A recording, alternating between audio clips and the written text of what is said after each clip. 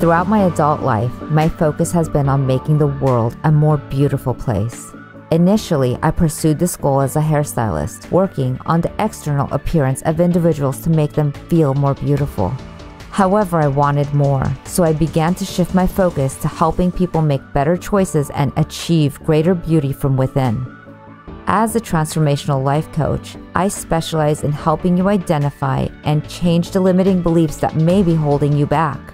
Join me each week as we discuss, interview, teach, and explore the fundamental principles of healthy relationships.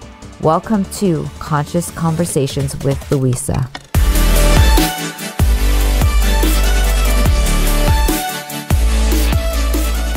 Amilya, I am so honored to have you here. Through Secret Knock, I have learned how much I love co-creating with everyone. So what I have started to do is asking David Reed to read the bio and introduce you, and then I get to take it over from there. I'll get, have an opportunity to ask you questions and open then open it up to everyone else to have an opportunity to get to know you. Sure. So, David Reed, would well, you? thank you, thank you, Amilya. And Amilya Antonetti is one of the most sought after human behavior and strategic advisor experts in the world. She has appeared as a regular business and behavior expert on the Oprah Winfrey Show, Steve Harvey, Dr. Phil, and she's built or advised over 2 billion in sales for companies and high-profile clients such as Steve Harvey, Mike Tyson, Cold Stone Creamery, George Foreman Grill, which I'm immensely familiar with. Data Doctor. She's even been featured in People Magazine, Time, Forbes, Smart Money, and Entrepreneur, and has been named in the 55 people you must meet by Jack Canfield. And today, her she is the CEO and creator of Design Genius, a powerful training and development platform that changes the paradigm on how companies, op- opportunities, and our greatest asset, the people, come together as we answer the call of the gig economy. So, without further ado, back to you, Louisa. Thank you, thank you, thank you, Amilya. I heard you for the first time only a few a uh, few months ago, and you absolutely blew my mind because there are remarkable women in the world but they're very the experiencing you truly felt like an experience. It wasn't like oh it's so cool that she did that. I literally was like how did she do that? Who is she? How did she get created? I love that you are here. I'm honored to be able to highlight you. Please let us know who you are and how this all started for you you know, I they always say that things start out of a necessity, right? So I was emancipated at 15 um, and took legal custody of my younger brothers. Um, and the first thing I needed to figure out was how to keep a roof over his head, right? And so when I started, there really there was no such word as entrepreneur. Like I never heard that, you know, even small business owner. All I knew is I needed to figure out a way to basically get, you know, week by week and just survive, just to make sure that I could provide you know, a safe home for my brothers. And so, as a 15 year old, again, I don't know if any of you got kids and you've looked at your 15 year old, I look at mine and I go, I do not know how I did it.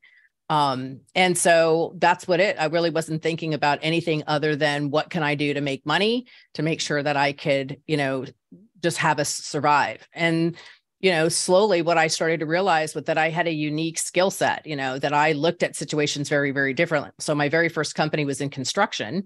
Um, and I started to realize that my problem solving was completely outside of anything that was like uh, taught.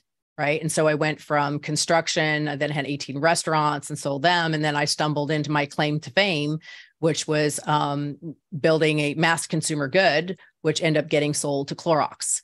Um, and so growing that company, right? So that company went from zero to about 180. Um, I knew that if I was going to be the CEO of this company, like, why would somebody come work for me? I had to create an environment that was about them, right? What they what they desired, what was important to them, not important to me or not important to the company. And so from a from that kind of young CEO mindset, I started doing literally putting honeypots around the company, asking my employees what they were doing when they were not working for me. And so they were like, really? Like, like just what we're doing? I'm like, yeah. So they're like, well, we're doing laundry, we're doing yard work, and we're taking the car to get oil changes and going to, you know, Sam's Club and Costco. And they were doing chores around the house. And so every week I took something out of the honeydew pot and I solved the problem as a company. And so the first thing I did was I brought something in. So all the tire rotations and oil changing was done in our parking lot. Right. So I had 200 some odd cars that they did it while they're at work instead of, you know, spending time doing it on the weekends. And then it was, you know, we brought all the laundry to work and then it was all the dry cleaning and then it was grocery shopping. And so one by one, I took the things that causes stress away from my team so that when they were home, all they needed to do was be, you know, great wives, great husbands, and great parents. So that the company handled those stressors. Um, and what I, I started to be able to lean into was what I do naturally you know, as a CEO isn't what comes naturally to everybody else.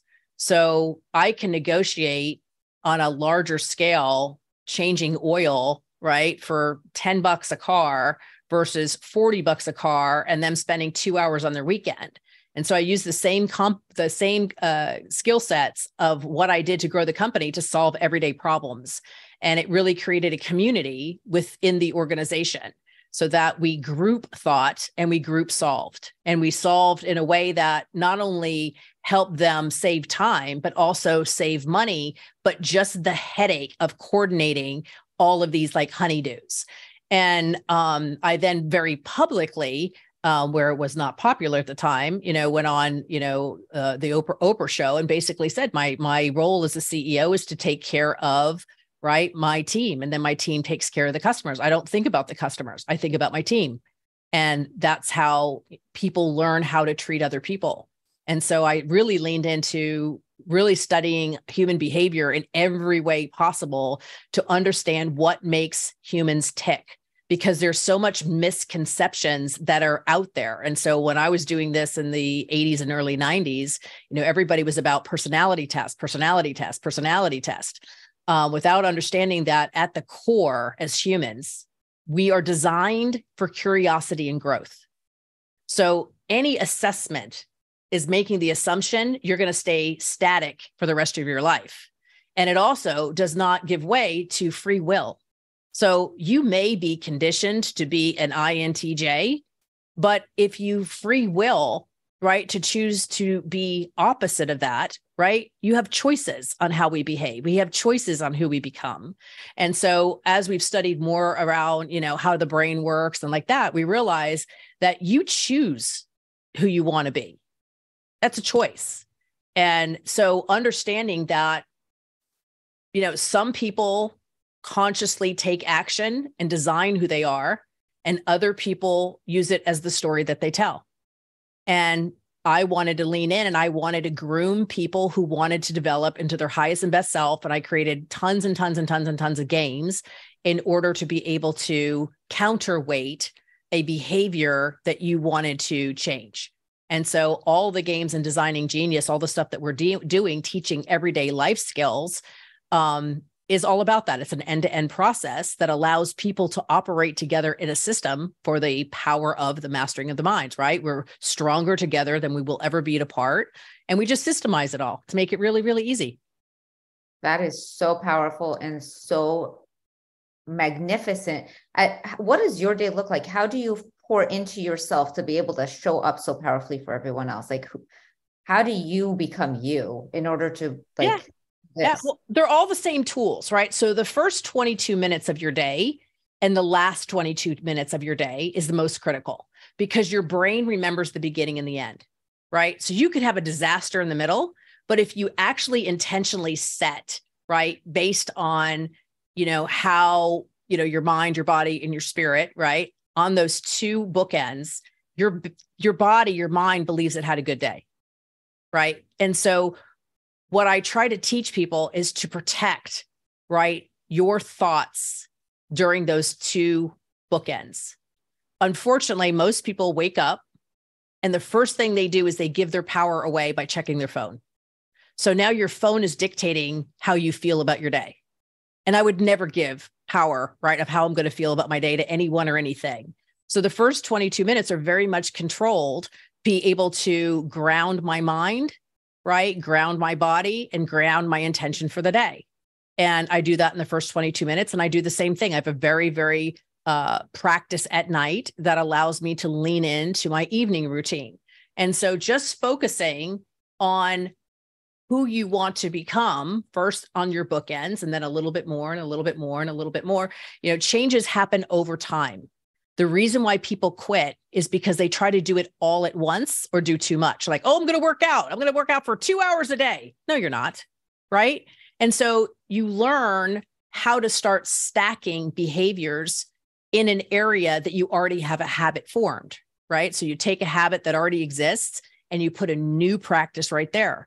I literally tell people if you've never worked out before, but you want to work out, take the first week. And all I want you to do is go to the gym. Don't work out. Go to the gym, go inside, and go home. And the reason why I say that is because when you go into the gym and don't work out, or if you spend five minutes working out and you leave, you create an energy that says you wanted to do more. You're like, this is ridiculous. I could do more, right? Which is a positive uptake. Instead of going and trying to work out for the hour and leaving, going, oh my God, I'm so behind on everything, right? Energy produces more energy. So, week one, it's just to establish the routine to get there. Then you do five minutes. Then you do 10 minutes. You always want to leave a new behavior with you wanting to do more. So you got to stop before you tip over on the other side right? That's what the whole time blocking about, right? Time blocking is to set a very specific time to do a specific task without interruption so that when you stop it, you actually wanted more, right? And if you haven't finished it, you block it again so that you come back into it with fresh eyes. And so all of these behavior hacks allows people to be very very highly productive with less amount of time, not more time. That's a myth. Right. I mean, look at how many things you are running with the same 24 hours the rest of the world has. And there's something about how you do it that works. And I love this. Is it what do you do in those 22 minutes? I'm in the beginning and in the end. Yeah. So for the first, so for me, right. So I start my morning because you're dehydrated when you wake up. So 24 ounces of water are sitting on my night table. I take that and my supplements before I do anything else. Um, and then I flip over and I start meditation. Right. So I ground my mind before I put the feet on my feet on the floor. Um, and then I work through gratitude, right? Because what you do not value, you will lose. And so I make sure every day that I not only set my intention, but I actually hold a space of gratitude for the things I woke up. I'm a, I'm on the right side of the dirt. I'll take that, right? Kind of go from there. And so really kind of walk through the fact that I'm aligning my mind that I'm grateful, right? And to be appreciative for the things that I do have so I can hold on to them. And then the intention of the day allows me to set that expectation of the one thing that I know I actually really want to accomplish today. Uh, and then I actually go and work out, right? So anything that comes out of my thinking, like my meditation and my gratitude, whatever, that needs to be released, I can then use the workout, right, to release the energy. So anything that you want to let go mentally does not release your mind unless you do it throughout the body, right? Because we we store pain in our body not in our mind. It's connected. So that's how we get. So I use the workout to release anything that's just not working for me. And then I kind of go about my little, you know, I love coffee. So I have my coffee in the morning and that kind of stuff. And then I lean into my first time block. And so I use my energy my natural cadence of energy. So I'm a morning person, so I'm strongest in the morning. And so I knock out my value drivers, the things that drive value in my business in the morning that I move to clients and then I go into repetitive tasks. Um, so I'm using time in alliance with my natural cadence. So that means whatever I'm doing is 10 times fast um, stronger because I'm doing it in the hour that actually matches the outcome versus just trying to most people use their calendar by default instead of saying when am i strongest when am i weakness what aligns with what so i'm using every single thing to my fullest advantage. So I'm constantly building capacity. So my day does not drain me. My day is actually stacking to build capacity. I love that so much because I actually only got that in my 40s. It took me a while to like figure out my rhythm and figure out when I'm the most powerful. And what I also noticed was taking a mini nap, like a 17 to 20 minute nap, reset me. And then I can powerfully work through the rest of the day where I would go, oh my God, now I'm tired. But that mini reset, and it's it's usually a meditation that leads to a quick little yep. nap that, yep. that keeps going. Um, you mentioned something I think is tremendous. The one thing. Do you stick to the one thing and com- complete something, or do you really have a couple big things that you're committed to that you're doing? Well, I only stay on like my time is only aligned with things that are driving value in the business, right? So I try to touch something one time and then systematize it. Mm right? So that I'm not doing anything repetitive. So I'm always whatever it is that I'm doing, I'm trying to then say, okay, who's the next person in the in the company who's going to start doing this thing? So like even this podcast, right? We've got people that are now getting certified in our behavior right? Becoming uh, accredited certification so that somebody else can do this. So anytime I am doing anything, I automatically go, who's the next person who's going to start doing this? Because it's not going to be me as I move from CEO to chairman, right? On that journey to chairman, right? Everything that I do has to get transferred. That knowledge has to get transferred. So it's either getting transferred into a system or it's getting invested into an individual who's going to take on this role. And so that is always my mindset that I will only be doing it this one time. So I am very intentional when I do it so that it can be repeated by somebody else. So I'm going to share something that does not work with me that I end up doing. And I would love to have feedback on that. So I'll systematize it. Like I got my email list going and then I'm like, oh, should I use a different platform? What do you do when all of a sudden you have it going, it's moving, and then you want to shift it? And then the next person who can actually work with it only uses a different platform. Would you, what would you do when you think you have it moving forward, but you keep finding yourself re- redoing things? Right. And so that's busy work, right? Right. Because so you want to be able to take something and get it into motion. And when you want to go back to redo, you have to say, well, what's the desired outcome? Is this my highest and best use at this moment? Right. So we practice something called the, the 70% rule, right? You want to go 70%. You're looking for 70%, 70% success and not get into the weeds on the remaining 30. It allows for collaboration, but it also allows for measurement. Because if you've got a system working, you've got enough data to be able to analyze is it even worth your time? Right? Why redo and redo if you can't validate that's actually driving value or monetizing in some way? So a system to one system to another system isn't going to help that system monetize, right? You're either in the right lane or not.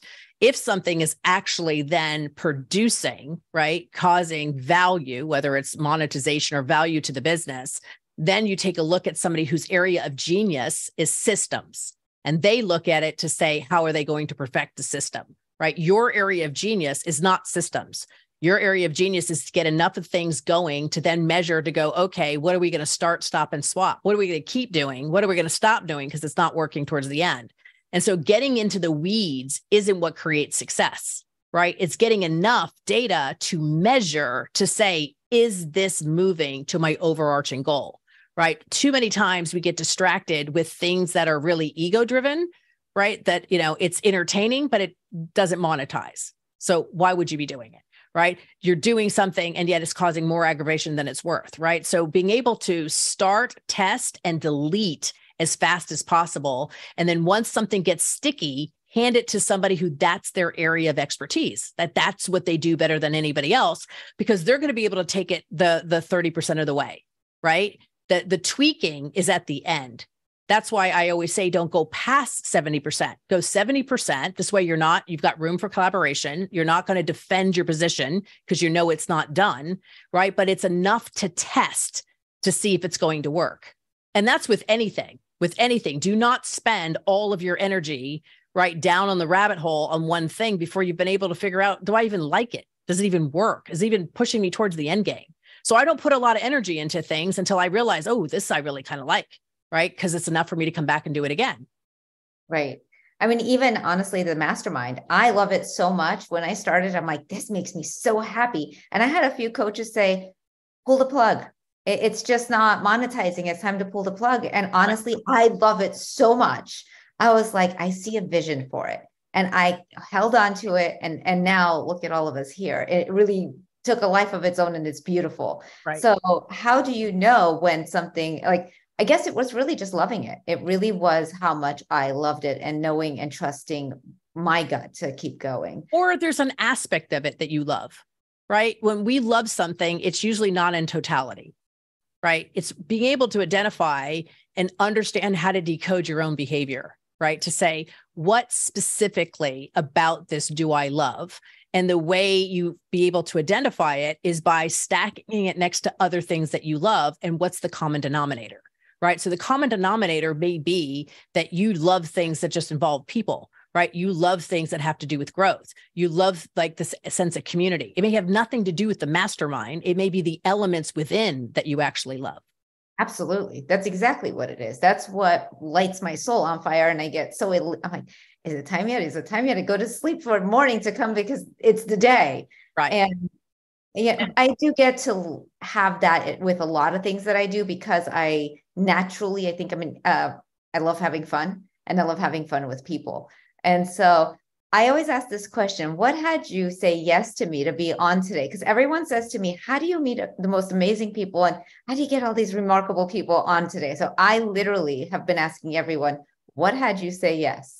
You know, I really feel um a, a very, you know, s- sense of connection to try to help other people, right? I always try to take the standpoint that going, what would I wish I would have known sooner that would have made my life less painful, right? And especially in the space with women with women, we have so much that comes out of us that that showcases women not in their best light, you know? And I'm like, you know, I have a girl group that's a little bit more like Sex in the City, not like the Housewives, right? And so when I see, uh, you know, either whether it's social media or TV or movies that showcase women just not supporting each other, I really feel compelled to say, I don't have anybody like that in my life right? I am the first one to reach out to you know help another woman you know so that she can not have to step in the you know the ebb and flow that i did.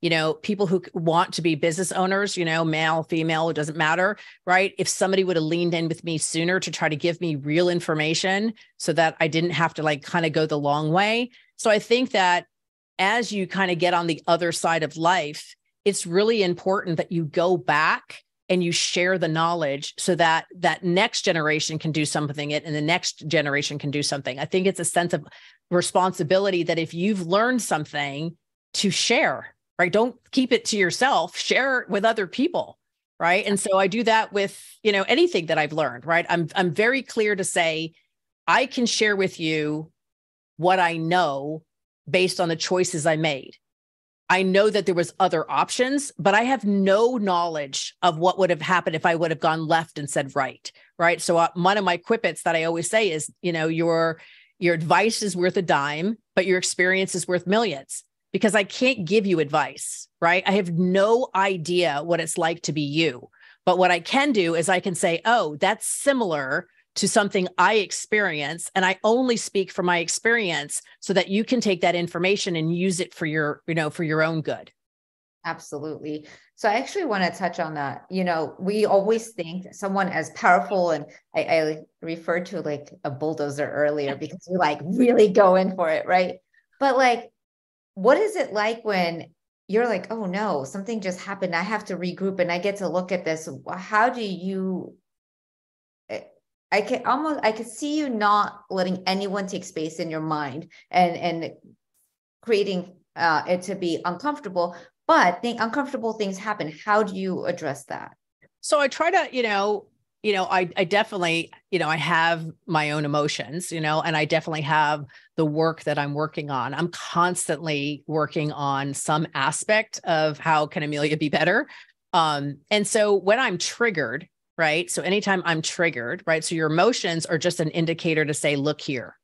And so when I'm triggered, I really want to get clear with, well, what's really happening on my side? Like, what is it? You know, I'm triggered because am I feeling, you know, angry or do I feel like a, a need to defend my position or am I hurt or, you know, what is it that's actually happening within me and where? Where am I feeling it?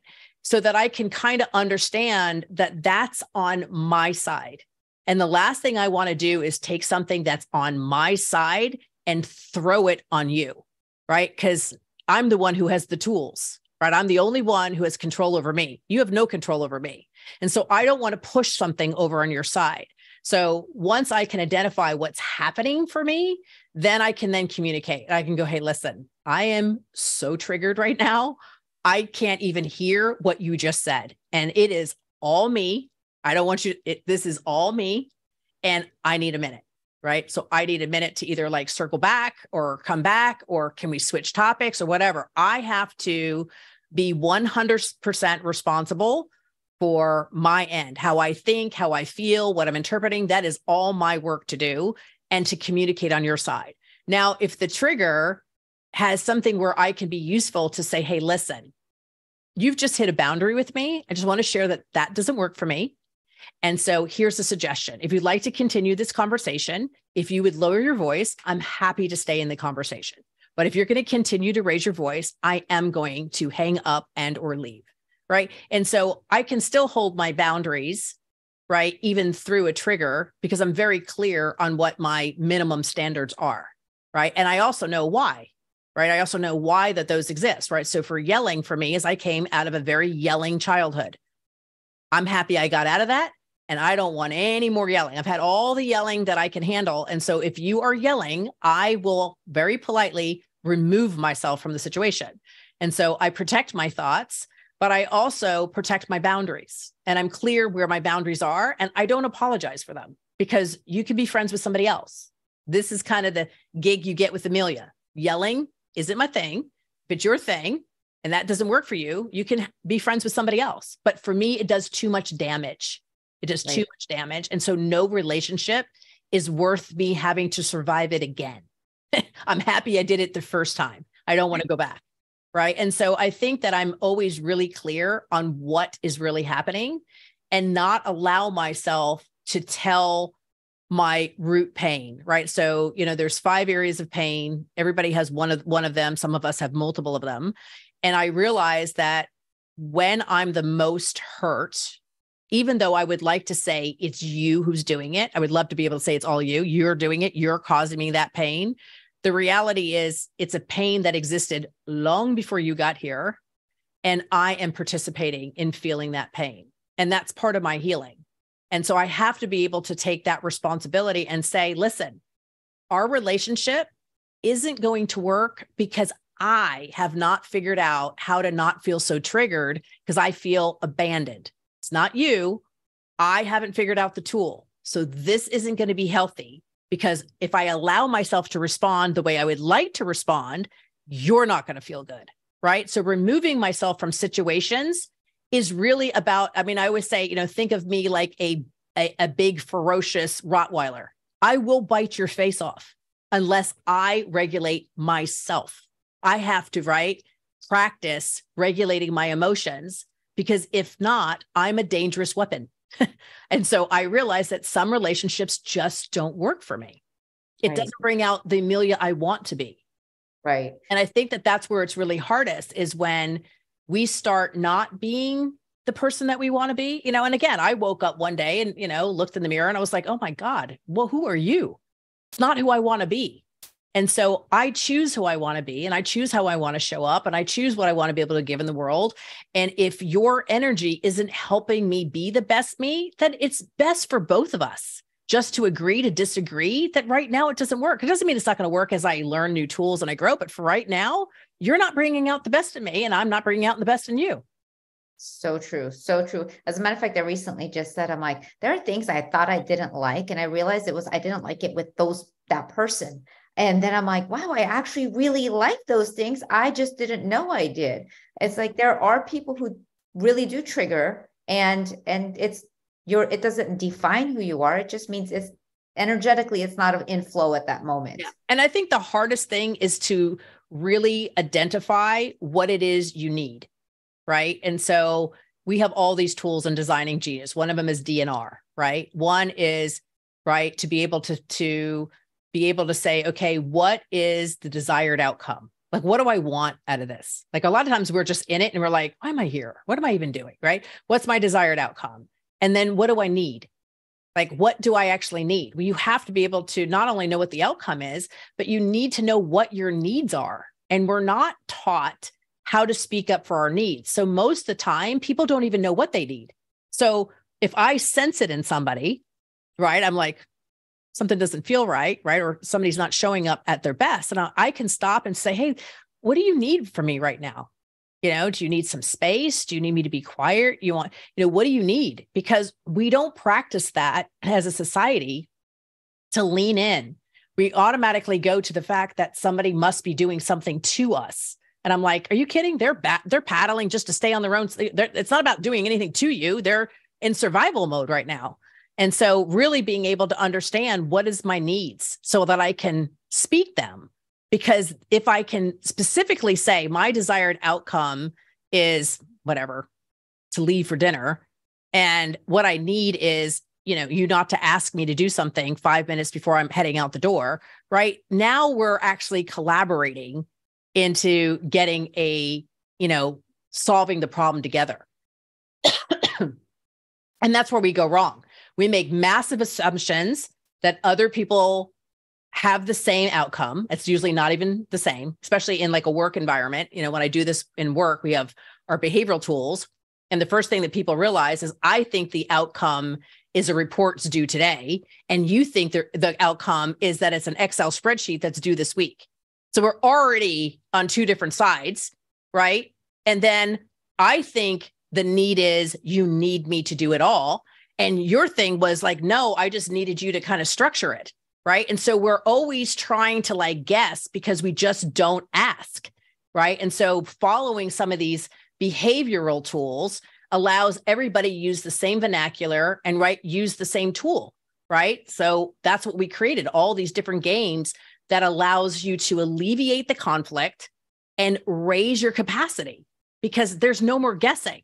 And so every time you activate one of our tools, what it's doing is it's removing the emotion completely removing the emotion and just saying oh i need this or you need that and you know here's your outcome my outcome you know here's the the you know the reason why it matters to you and here's the reason why it matters to me. And so when people use the tools everything starts hitting flow so so powerful. I actually want to follow through with that. I know you have your session coming up. I really want to be able to highlight it in here. And um, before anyone even has an opportunity to ask you questions can we hear what that is, when is it, how do people sign up, and we could probably put in the chat for, um, and then we can continue. Because I really the reason I wanted you on tonight, like instead of later, is because I know this is coming up and how huge this is. So what? So you know, I am a data and tech gal, right? That's kind of my background. That's kind of my shtick, right? And so I wanted to create the tools for service based businesses, right? So for coaches and consultants, right? For people who have businesses that are about service, because the behavioral tools allows you to quickly identify what's really going on, right? So just pretend if you were a therapist, right? Well, a therapist spends the first three sessions trying to figure out the root of what's happening. Well, with this tool, it tells you right away. So, right from the first session, you know the root that you're dealing with if you are you know in a service based business our tools allows you to customize the service right based on the value drivers of the individuals and so what we wanted to do was to take people in different industries and certify them on our tools and then show us how their tool show you how your our tools amplify your business. It either opens up a brand new line item that you don't have or it allows you to charge a higher price because of the customization on right what's happening for the individual. And so that's what we're doing right now is we're reaching and we're putting in certifications on the behavior tools and then helping people move them into their different industries so from education to transportation to I mean, mass consumer goods and retail, insurance, financing, all of it has to do with people. And so using our tools to understand right? How to better deal with people is what we're all about. We're like the intel on the inside. I love it. And how long is the course and how is there a link we could share to have everything or, or actually I know I sent it in the you, you, gave it to me. I could throw it out in the email or yep. uh, either way. So so the course, so there's pre-work, right? So we take you with pre-work. And then there's an on site in San Diego in June 28th, I believe, right? So it's all day on the 28th, right? So there's four parts. So pre work, live like in person then the third por- portion, portion allows you to start learning how to decode human behavior and problem solve. And then the last portion of it allows how do you apply it into your own monetization your own revenue streams within your company? So powerful. Love it love it. Yeah it's fun. Everybody needs this. Um, i'm going to allow the space for everyone else to be able to ask questions because i would love to have the next week with you if it was up to me. So Everyone, go ahead and raise your hand and we could take it from there. Thank you, Amilya, so much. Oh, my pleasure. Who would like to be first to? Brian, go for it. Hi, Amilya. Hello. Um, hello. Um, yeah, um, mine is uh, more of a general statement uh, because I've heard you um, many, many times on Clubhouse, as you know, um, between um, Breakfast with Champions, Achievers Breakfast Club, and uh, a, another club or two uh, that may or may not be running at this point. Um, so, uh, yeah, you, you definitely provide a lot of good wisdom, as do um, a lot of the other people that we've uh, connected with on uh, or through Clubhouse and on other platforms. So it's just more of um, me saying um, thank you to you um, at this point. Um, I mean, obviously, I'm a guy, so um, I think that your thing that is upcoming is for women. Um, so I would obviously not be able to attend, but no, our certification is men and women. It's it's not for just for women. Oh, half our audience is men because a lot of the people that are in like HR and, and those things happen to be men. So no, it's not just for women. Oh, I love that he uh, he tapped on that because I didn't know that either. So fabulous to know. Yeah, we happen to be following following Secret Knock for women. We're the day after, but our our our certification is all co-ed. Okay, sweet. Thank you, Brian. I'm so glad you mentioned that. It's, I, it's, great to see you, Brian. Normally on Clubhouse, I can only hear you. I can't actually see you. Yes, great to see you as well, Amilya. Thank you. Thank you, Sally. Please.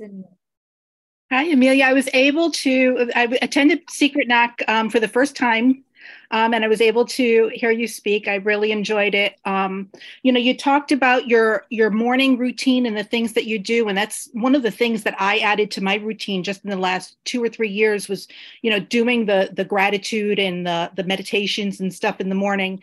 Um, what are some of the things you do at night before you go to bed? Because you you said you had a 22 minute routine that you do at night, but you didn't talk about it.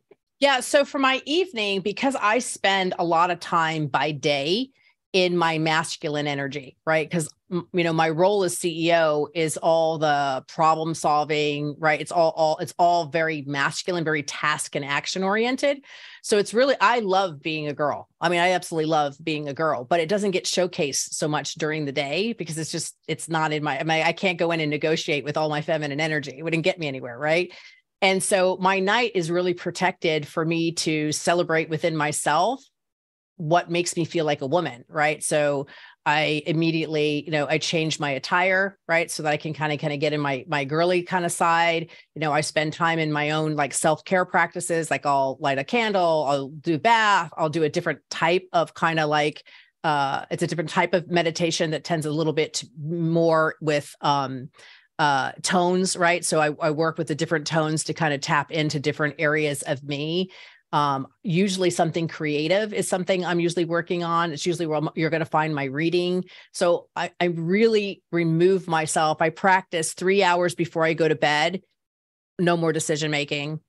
Two hours before bed, no food. And then one hour before I go to bed is all really feminine energy, right? Just it's all that I can do to usually very goofy. You know, it's where I'm, you know, I find myself entertaining. Nobody else does, you know, playing with a dog and just doing things that, you know, just make me feel more female.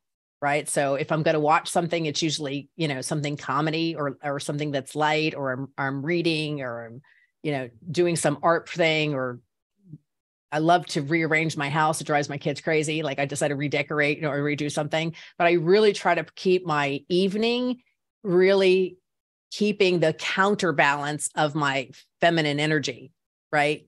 So that I don't lose it. You know, we get so practiced as women in the workforce that we've become very hard. And I'm like, well, nobody wants to cuddle with a porcupine. So we have to practice the feminine energy. And and my personal opinion is that the men in our life thrive when we can approach them with our feminine energy. Like we always have a choice whether we touch masculine energy with our masculine or our feminine side and you always get better results if you touch it with your feminine side right but we get in the routine of the action oriented problem solving um, and it usually doesn't make a very good mix I have a question about that. So, with your children, which energy do you feel, find yourself uh, addressing them in? Like, and and how old are your children? So, my daughter just turned 16. My son 28. Um, and so I use the energy based on the outcome I desire. Right. So if I'm trying to teach them, and again, boy and girl doesn't matter. If I'm trying to teach them to be more task oriented, right, or more action oriented or more problem solving, then I'm very much more matter of fact, right? Because the female energy tends to be a little bit harder to follow and not very straight lined right? So do this, not that. Here's the cause, the fact, right? You're kind of being a little bit more less words and also usually my my my talk my speech is matching demonstrating the action that I want so that they can repeat it. Now, if it's something that has to do with them being seen, heard, recognized, valued, right? You know, grounded in a way of what they're saying matters in the world, then it's all my feminine energy right? Because mm-hmm. the masculine energy is not going to be helpful there. So I, it's really based on your desired outcome, but that's also how I, I interrelate with my team, right? So based on the outcome, the message that I intend to land is what energy I go with. And so a lot of times, even though I would love to just have a task oriented conversation, it's obvious to me that my feminine energy needs to lean in and just go, listen, it doesn't, it sounds like you're a little off today. You know, what do you need from me and how can I be supportive?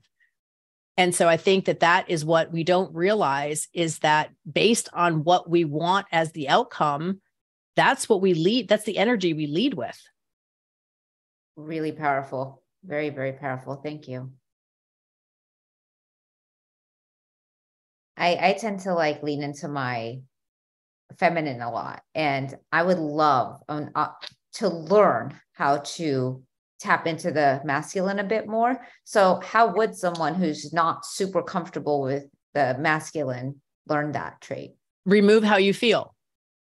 Hmm. right? So what happens is the reason why it's more difficult for you to lean into the actions is because you want to you want the emotions to match it right? You want to feel like it you understand you want like you know you want all of the talking and all of the detail which none of that matters right? And that's the difference between the masculine and the fem- feminine energy right? So if i have these three things that need to get done i don't even think about do i want to how's it like there's no thinking required right? I just march through right? And just execute the task without the hesitation and so you can't switch back and forth between the two because then you're giving mixed messages.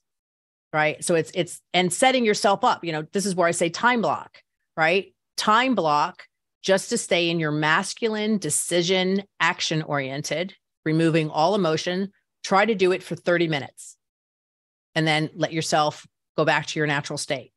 And then next time you do it, see if you can do 45 minutes right? And know that because it isn't your primary state of being, right? Time block three times a day, right? For 30 or 45 minutes where you're going to be just action oriented. Right. And the rest of the time, just be who you are. So how do you like pick the quadrants of like the things that are important enough to get? I, I remember you saying your values, but how do you identify your values to then match your calendar to it to to pick the quadrants of what goes where? Right. So you have to want to, you know, what is the thing, right, that you're here to give? You know, what is, what is the thing that you're leaving behind in the world? What is your what is your area of genius, right? And so being able to delineate what exactly that is helps you realize where you should be spending your time and not spending your time. Right. So once you understand this is my area of genius, and then you go, okay, if that's what I'm delivering to the world, how will the marketplace, right, pay for those services? Right. So that your area of genius match the current marketplace and then start building the business from that and then feed into what it's going to take to get to your desired goal knocking them out, right? Reverse engineer it. That's a whole like when you go through the designing genius, you build your playbook. And from that playbook, it allows you to move back to what do I need to do today in order to drive that area of focus. And so if you pour, we have five areas of focus. And when you pour into them every single day consistently, it's mathematically impossible not to create progress. Right. So if you just follow the system, you'll get where you want to go. The the problem is is when people are inconsistent right so we always say use your top of the day to pour into those five areas first and then what's left over right? The leftovers you can give to other stuff but you give the best of you to your priorities the leftovers goes the opposite way. Most people give the people that they love the most the leftovers. I'm like that's backwards. Yeah. Uh, and it you identify what your values are based on who you give them to first and then you i did realize like my my friends and my family were sometimes getting the leftovers because i was exhausted by the time i came to them and i was like shift reroute so when you go through the course the course allows you to work through what actually you value and then it takes you down another layer that be able to show you well what are the what are the evidence what's the ingredients of what you value so it gets very, very, very specific so that you drop that into what you're actually going to do. Most people just don't know how to think through, right? The exercise. So we just created the exercise for you that what you're left with is actually your perfect day. And then you block that into what you're actually doing. So the system's already been created for you. It, you know, takes you like an hour. Amazing. There's no more guessing. Right. That's so powerful. I love how you like I did this and now I get to have it go faster for you so you don't have to go through the stuff. Right. Um, Kevin, go for it. Well, I'm going to change a little bit from the whole feminine masculine energy thing. So, change the topic. I was looking at your website a little bit and looking at your book and so on. So, I guess based on your experience and understanding of like human behavior, how can entrepreneurs like build and increase that level of trust with their clients and customers and so what kind of advice would you give for fostering strong relationships that are built on that trust. Yeah so for entrepreneurs we have a tendency to fall in love with our own ideas and our own company right? And we then give it meaning right? So anything only has the meaning that you give to it right? And so, as entrepreneurs, since we're overly passionate individuals, we give a lot of things meaning that to the masses have no meaning. And so, if you want to be able to serve better, it's about adopting a practice that allows you to understand the other person, right? The other vendor, the other employee, the other client, the other customer, to say what's important to them and what do they need to see right? See, hear, or experience that equals it's valuable because that's usually where there's a miss, right? We create a business. We think that business is going to bring value into the world without being able to say, well, what does the marketplace value? And are we aligned? And then how would you know? Right. When people go, I have happy customers, I'm like, yeah. What how how do you know you have happy customers? Like what evidence can you gather that shows you you have happy customers. What can you see? What do you hear? And what do you experience? Right. Because if you have happy customers, that means that you have consistent referrals. You don't have consistent referrals, then you don't have any evidence that they're happy. Right. So it's about taking what we think is true and questioning it and spinning it on the other side. You have to fall in love, right, with the customer's outcome, not fall in love with the customer, fall in love with their outcome, the experience that they're having. That's what allows you to really close the gap between how you were serving. And if you can do that, if you can decode your how your customers feel about you and the product, that's what's going to cause your business to scale because it's no longer about you. As long as it's about you, you hit a ceiling. Because we are never our customer. We forget that. We're not our avatar. And so you have to be able to get into your avatar's experience to better serve them. Yeah, yeah, um, exactly. One one of the things I do is I I also get uh, testimonials from customers, and if you can get like a video testimonial, it's even more powerful. So even if it's just like a little thirty second clip, having those eh, testimonials of customers is is a key thing. And then if you look for the pattern, right? So if you have say you have twenty testimonials, right? Is there one thing that all 20 of them said. Because if you can find that commonality, that's actually what you're delivering, that one thing. And then you say, okay, is my testimonials, right? So you look for as much common as you can through all of them. And then you say, is that what your brand promises? Because oftentimes what we say our brand promises doesn't even match the testimonials.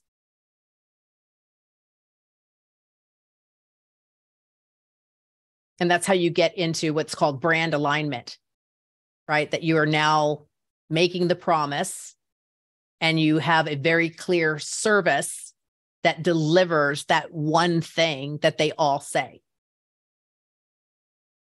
And this allows you to go narrow and deep. And so instead of trying to serve, right, let me solve five problems, five different products, serve one better than anybody else.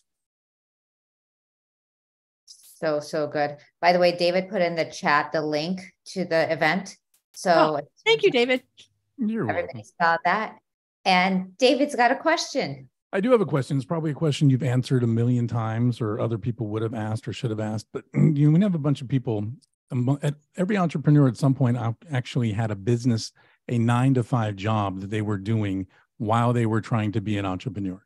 Mm-hmm. And in the paradigm that you've created that you you know in your vision in your life all that all these little tricks and all these little and not little but these amazing tests that you you know to bring out the best in people what would you suggest or how what advice would you give people to be able to focus on their entrepreneurship and balance with their regular job and trying to figure out what would be the best for them to break out of their 9 to 5 job whatever it's going to be and be able to create that business um, to the extent and to you know for its fullest potential while they're doing everything and running their life and in their daily routine that you've mentioned. I mean is there any advice that you have along those lines? Right. So it's being able to understand what actually gets you financially free right? A lot okay. of times when people are working a day job and then their side hustle they don't actually know where the tipping point is right? So you have to be able to say okay in order for me to quit my day job to get my freedom back I actually need, I'm going to make it up. I need to be able to make $5,000 a month or $10,000 a month. Like, what is the nut that you hmm. actually need to make? And not necessarily what's matching your current salary. You have to be able to say, in order for me to live the life that I'm trying to live, I need X amount of dollars. And then you say, okay, if that's the X amount of dollars, how many deals is that? And then you say, who do I know who can bring me into that deal? So that you start creating that momentum and then you block. So you block. So if you start work at eight, then you block the hours before eight o'clock to work on your business. You're open for business from five to seven. And then you try to grab an afternoon if you can, if you can grab 12 to one, and then grab from six to nine. And in those areas, you say, okay, if I need X amount of dollars, that means in these three touch points of today, I must close $500. And you don't stop until you hit it. Like that's how I do things. I literally mm-hmm. go, I will not eat and I am not sleeping until I hit my $500. Period. And so that becomes my own motivation because the sooner I can do that, the sooner I can eat and go to bed. And so I am relentless when it comes to meeting my goals. I will not go to bed and go, oh, well, I'll make it up tomorrow. No, I will not go to bed. Right. And so you try to make goals and then force yourself to achieve more than you think that you can. And it's not by doing it alone. It's literally by calling every single person that you know and say, I can't go to bed until I make $500, right? And then get there, right? Because you use your friend resources, right? Because then you'd be like, okay, what does your parents do? What do your brothers do? What do your sisters do? Like there is a direct line to the service that you provide right underneath your nose. You just have to find it. Thank you. Perfect. You know what I love about that question and that answer is that, you know, how I said, oh, I love doing this. Well, then the, there's that other aspect to where is the income producing activity. It's like there's the what I love doing, and then there's that hidden area of like when when does it become what you love become an income producing activity? Where's the tipping point point for that? And so the the the better way to think about that is to fall in love with all of it. Right? Just to fall in love with all of it not being able to say, I just want to do the things that I love. Well, I love doing all the things, right? Even though it may not be like overly desirable. I realize that when I negotiate this deal, or if I do this or I do that, that it's delivering my purpose. It's all part of delivering and solving the problem in the marketplace, right? My overall arching goal is to heal unintended pain. And so every time I'm doing something, I don't really think about, am I loving this? Right. I love the entire process that's going to get this problem of pain, which seems to be everywhere. If that's my greatest work is to heal unintended pain. So all of it is part of it. Right? right. We have a tendency to try to think that we're going to love it. Well, you know, 80% of building the business is the stuff that nobody wants to do that's the stuff that you don't see. if you work for somebody else that's the stuff you don't see. Right. Right? 20% of it is actually service. Most of it is the minutia. That's why most people don't do it. Right? Entrepreneurs and people go oh i want to be an entrepreneur. What's my best advice? I'm like go get a job. There's nothing about this that's fun right? There is a hidden fire that i can't put out. Right? You know what i'm saying? If i had more sense I would have done it differently, right? But this is what I was born to do. And I am ferocious about the tenacity that it takes in order to do it. It's not for everybody. And so I always say that if you like entrepreneurism, but you don't have that kind of drive inside of you, go work with an entrepreneur, right? Don't torture yourself. Go work for an entrepreneur, right? Because that is the closest thing to it that you get to do the joy part of it without some of the suffering. Right. I think the part that, like, I remember uh, a coach saying, what people not understanding what is an income producing activity. You know, like everybody knows what the fun part is, and how then do you close those sales? I love what you said about like call everybody, enroll everybody, talk to everybody, don't go to sleep until it's done. You know, those are the areas that I rethink. I it was huge to, that you just said that. It, it, really goes, oh. So I don't know if everybody else felt that, but I did. But, um, but that is the relent. That's the difference, right? Between when you talk about the us and the them, is I will do the things that people would go, that's absurd, right? Absurd, but it gets done, right? I will put myself in the most extraordinary, painful circumstances to get what needs to be done done right. right? Even though I don't like it or I don't want to, right? I mean, some of the biggest success, the leapfrogs and a lot of the businesses that I've built is I put myself in extremely uncomfortable circumstances. You know, when I closed a, you know, well over a million dollar purchase order, I put myself in you know, I flew across country. You know, I went in without an appointment. I stood in front of the men's bathroom for hours, right? Until he, he showed up. Then I was like, oh, well, here he is now. Now what do I do? Right. I'm like, okay, I need three minutes of your time. Like I was beyond uncomfortable. I'm an introvert. I was so far out of my comfort zone, but losing was not an option.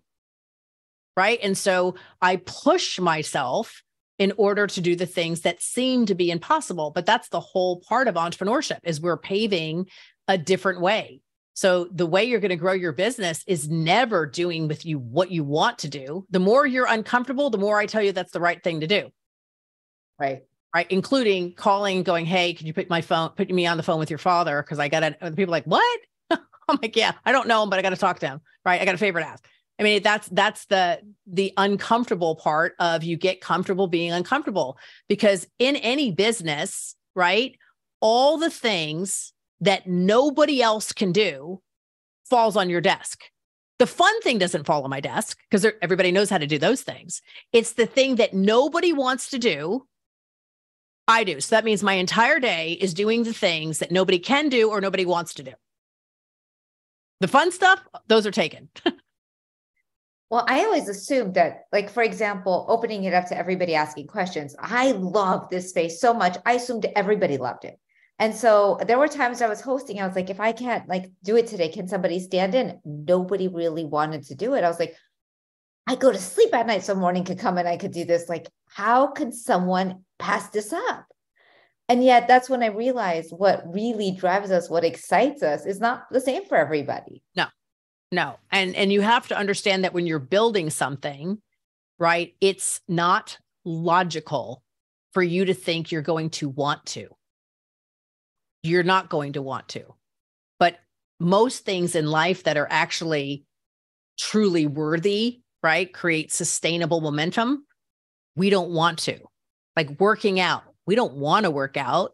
It becomes a routine and it becomes a habit. So we work out, but nobody goes, you know what I want to do today? I want to go spend. No, you, you know what I'm saying? We create things, healthy habits, right, to get us continually to grow, right? Stay curious and become a better self. But those things we don't we don't actually want to. Right. And so that's what you, you know, we have this false thing because of social media, this idea that we're we we do the things that we want to do. And I was like, no. I want to sit and eat a whole cake, but that's not good for me. So instead, I'll eat my salad. Do I want to eat the salad? I don't want to eat the salad. I want to eat the cake. But right. those are choices, right? I also don't want to look like the side of the house. So I will eat the salad. Right. So it's you're always trading. And when you can teach that in you know a, a matter of life skill right to be able to say what is it that i don't see right now and what decision am i making right now well i'm making the decision to be productive so i'm getting to get out of bed instead of hit my alarm well now what i'm trying to do well now i'm working on my 22 minutes that's going to increase my capacity so i'm going to protect it now what am i doing you have to understand that you're making all of these small choices every single day and you're choosing either to become more or stay the same Absolutely. And, those mini hacks every day absolutely add to it. Like consistent brain hacks for myself. I'm always twisting something in my head to like create a whole. Uh, one day I didn't want to go out, uh, go work out, and I was like, I'm going to put on my tennis shoes, the other shoe first, and then I'm going to tie them differently. I mean, it was like so retarded what I came up with, but I got yeah, myself. Or just say I'm going to walk, right? You, it, it's more about the movement, right? Move your brain move your body and move your purpose every day. Move them, move them, move them, move them, move them, right? Because you ha- have to understand you will lose them, right? So every time you allow yourself to restart, it really is a restart, right? So I don't know if you guys ever did like 75 hard, right? You know what I'm talking about? The app 75 hard, right? 75 days of consistency. Well, what happens is when you skip a day, you got to start back over on day one. And so it's psychologically teaching like, oh, I'm already, you know, halfway there. Do I really want to start all over? Right. You understand the, the small choice in this moment, right, creates great pain of having to restart.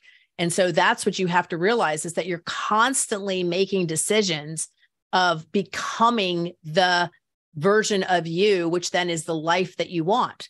And so if you can, you know, craft your ideal life and then realize you're making the choice in this moment to work towards it and pull away from it.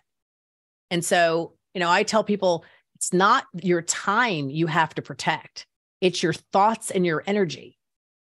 Don't let people in your head. And definitely do not share your, en- your energy with people who don't bring it back in fuller capacity, right? If I share my energy with you, I want you to feel better, right? Not drained right? You should feel better after we spent time together, or you shouldn't, don't do that again, right? Don't be around things that make you feel worse or drain your energy. Something in the chat. Tiffany, did you want to ask a question? And I know that, sorry, I didn't, I didn't want to like walk over people's uh, opportunities to ask questions, but I don't think her microphone's working, so it needs to be read to Oh. Amilya. Can you read it for me, David? I And can read it. All you right. have the better voice Okay. reading. How do you stay authentic and true to your customers and the world in general and show a little vulnerability, not as a weakness per Brené Brown, without seeming weak and let others take advantage of you? Okay. So, you know, not being taken advantage of is really about being really, really clear in what you deliver, right? And not to try to deliver all things to all people. So, we have an exercise which is called letter to your friends, right? You take the 10 people that you're close with and you literally say, Why are we friends? Because what you think your value is, is usually not what the value is. And so, when I did this exercise a million years ago, I thought I needed to be friendly and I needed to be warm and I had to be the mom that picked everybody up. Like I had all these things that I thought I needed to be in order to have my friendships. And then when I asked them why were they friends with me, the common denominator was I was the most objective problem solver and and clear clarity with no bullshit right? That's why people were friends with me because they always knew they got a straight answer and they always knew that the way I would solve the problem would be far more efficient than what they thought. So it allowed me not to try to be the funny one, the friendly one, the pick up the kids from that, that none of those things mattered. And so it allows you to be very precise on the value you deliver. And so now I can hold space that my connection with people is if they're in trouble or if they're in crisis or they need to like figure something out, I'm like the go to girl for them. And so I do that better than anything else. And I can save my energy from trying to do all those other things. So, my first thing is to get really clear on not what you think the value is, ask them what your value is so that you can hold space on just that. Once you know what that thing is, it frees you from having to overly explain, right? And overly try to pull in from other areas. You can just get narrow and deep that that's what it is. And then you become very unapologetic because you understand the value of that, right? So if you're, if everybody says, oh, the reason why we're friends is because you're reliable, or oh, the reason why we're always friends is because I always feel good around you, right? Then you understand that that thing is extremely valuable in life and now you'll defend it with a minimum standard right? So that that standard allows you not to get taken advantage of right? So i'm happy to problem solve for you but i will find it annoying if you don't take action. I'll say stop asking me for what i think you should do next and then you don't do what i say you should need to do next so don't ask me anymore. Like i will remove the privilege of putting more brain power into coming up with the answer if you're not going to respect and take action on it. Like, why bother? Right. So I have standards where I will not repeat my effort if you're not matching the same effort on the other side. I can't care about your business more than you. Right. And I can't care about your relationships more than you. I can't care about you more than you. And so my minimum standard is I am looking to see if we got equal energy here on the exchange. And if not, I will be the one who pulls back right? And so that's what you want to make sure about. The taking advantage of is no different than having an argument. You can't have an argument unless you participate, and you can't be taken advantage of unless you participate. And so participate one time and then say, you know, this doesn't seem to be working out as a win win. So if you want me to do X, I expect Y. Every give should have an ask. It's an exchange. You're not a charity.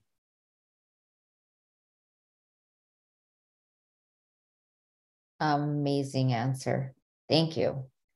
Oh, Dorinda, I know I asked her, did that, was that, did I answer her question? Because I don't, can she just say yes or no? Was that what she, what she was looking for? There. incredible. Thank you. Thank you, Tiffany. I love Tiffany. Dorinda, did you, I saw your hand up and I know we're like at time. Um, I want to. No, actually, Louisa, you had asked the question that I wanted to ask. So David asked question and you asked, it was the same question. So answered perfectly. Thank you. Awesome. Thank you. Amilya, this was so powerful. So powerful. I mean, you come in and it's like on. and and your answers are so direct, so clear, so powerful. It's exactly, you know, when when you have an experience of somebody and they really are consistently that person, it is magical. And I am so privileged to be able to share you with the world today. And one of the things I didn't I didn't get to say is like this all goes into a podcast. So I just want everyone to know. I hope you're comfortable. You're, you're, all of this is going to be highlighted in a podcast because what was happening is I was having all this amazing content. It was sitting in my Zoom links. And I was like, the world gets to hear all of this. There's so much value in here. And I don't want to like be hiding all this information that could change the world. And that's what we're doing in here is we're really creating movement and information for people to take action in their life. So I am that's so what I try to help people do, right? I have a really big heart too, right? And I love I love to give. But what you start to realize is on the road to success is that need that you feel to give is really your inner you asking you to serve yourself. Right. So, whatever it is that you decide you want to do, right? So if you're like, "Oh my god, I want to pick this up because this because, you know, Tess would really like that." Then say, "Well, what is this act of kindness I'm trying to do?" Right? Am I trying to show her that I was thinking about her? Right? And then say, "What am I going to do to say that I was thinking about myself?" Not to stop the give that I'm giving the Tess, but it's a reminder that my inner child is also looking to be recognized. So if we always take care of ourselves, then our cup stays full and then we can give to others, right?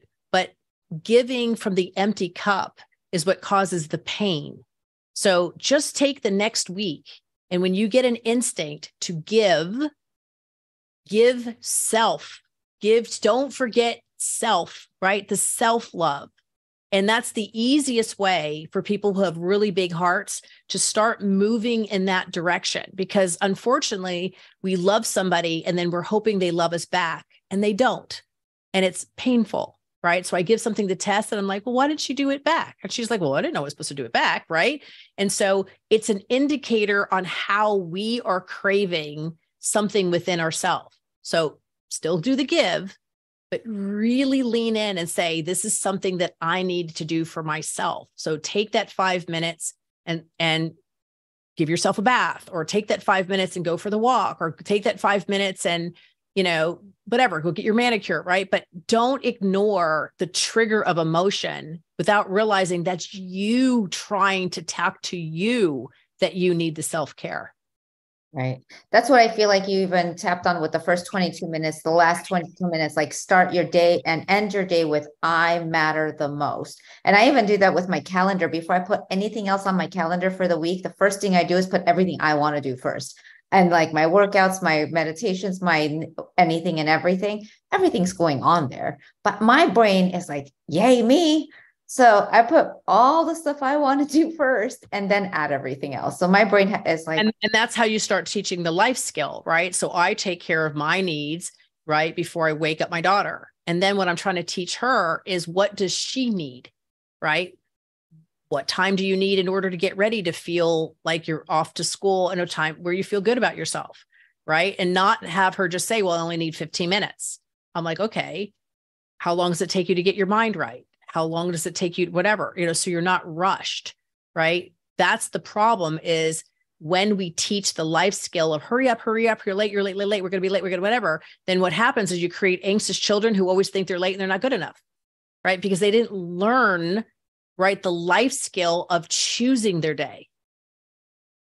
Right? And so you don't understand that in your need because you haven't learned how to prepare the life skill to step into your day, you're creating another generation who also thinks they need to hurry up because they're being late because they're late for their day, which means they're not good enough.